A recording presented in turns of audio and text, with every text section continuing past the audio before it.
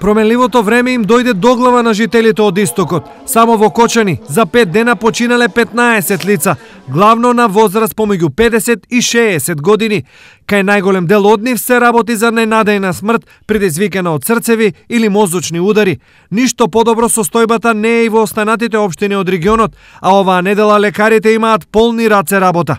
Што се однесува до мозочните удари, можеме да кажеме дека има тенденција на зголемување на истите. Предходниот месец имавме од прилика амбулантски прегледи околу 780, а уште не сме на пола месец, значи десетина денови од месецот имаат поминато, а ние веќе имаме околу 300 амбулантски прегледи, од кои значи хоспитализирани болни а, што ни се во моментот 18 се со исхемичен мозочен удар, значи мозочен удар заради оклузија на крвниот сад и 20 пациенти со хеморагичен, односно крварички мозочен удар. Дека со времето не им оди најдобро, потврдуваат и граѓаните.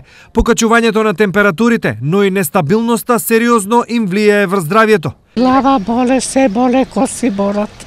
Сега од лекари да бе на лекар. Па нешто од јетрата, нешто од срце, нешто од реума. Разлика на температура, нели притисокот се качува се синија. Смета е, како не смета. Умалаксаност така работа, они дом највише. На времето не можеме да влијаеме, а високи температури синоптичарите допрва најавуваат.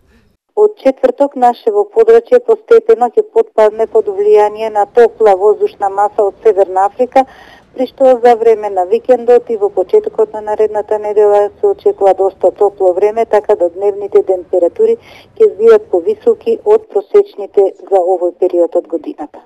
Од тука, лекарите уште еднаш советуваат како здравето да си го заштитиме. Најважно е да пијат пациентите редовно терапијата која што им е назначена, значи да пијат редовно терапија за покочен крвен притисок и се разбира, значи хигиено-диететски режим во смисла на редукција на мрсната исхрана, во смисла на редукција на преголеми количини шеќер во а, во исхраната, како и во смисла на редукција на алкохол и цигари. Ова особено важи за оние кои досега се сметале за здрави. Ударите доаѓаат од ненадеж и се порано, па затоа внимателни треба да бидат сите.